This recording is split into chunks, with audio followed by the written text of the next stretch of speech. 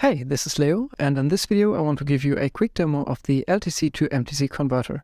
This device allows you to take an incoming LTC audio signal, decode that, and convert that to an MTC signal that you can then send to another application or an external device. In this example, I'm going to use it to synchronize the playback in Logic Pro to the playback in Ableton Live. But of course, you can also do this with Pro Tools, for example, or you can use it to send the MTC signal to an external device like a light desk and uh, synchronize that to the playback in Ableton Live.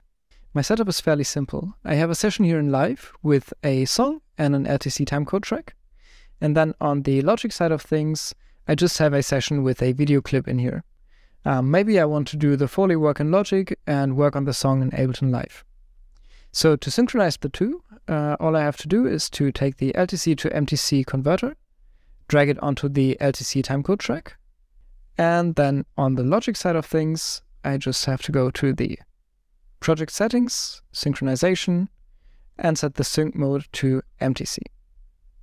And with that done, the playback is now synced. So if I go to the intro here, for example, and press play,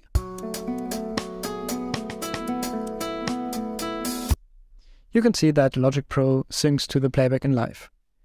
I can do the same thing if I want to jump to a specific part, for example.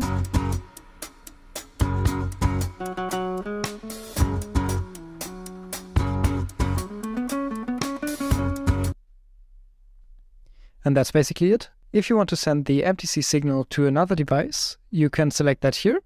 By default, the LTC to MTC converter sets up its own virtual MIDI device, so you don't have to take care of setting up an IAC device just for that. But um, yeah, if you want to send the MTC signal to another device, um, you can just select it here and you're good to go. And that's it. If you have any further questions, feel free to let me know in the comments, and I wish you a great day.